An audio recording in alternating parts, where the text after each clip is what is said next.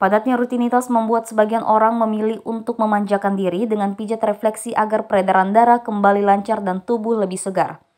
Di tengah pandemi terdapat pijat refleksi yang tetap buka dan menerapkan protokol kesehatan agar pengunjung tetap nyaman. Manajer Time Pijat Refleksi Resa mengaku, ada sebagian masyarakat yang enggan untuk datang selama pandemi COVID-19. Untuk itu ia menyediakan jasa ke rumah agar pengunjung lebih merasa nyaman dan tentunya pegawai diberikan kelengkapan protokol kesehatan. Tidak hanya itu, bagian pengunjung yang ingin memanjakan diri di tempat pijat refleksi, pihaknya juga menggunakan protokol kesehatan kepada pegawai yang melayani pengunjung. Saat pandemi ini, eh, terapis kami dilengkapi dengan protokol, protokol kesehatan, eh, seperti menggunakan masker. Untuk saat kerja juga mereka nggak boleh sakit, mau sakit apa pun itu nggak boleh, demi menjaga eh, kenyamanan bersama. Untuk pengunjung sendiri yang masuk ke sini seperti apa Pak? Ya, untuk pengunjung sendiri diwajibkan untuk menggunakan masker.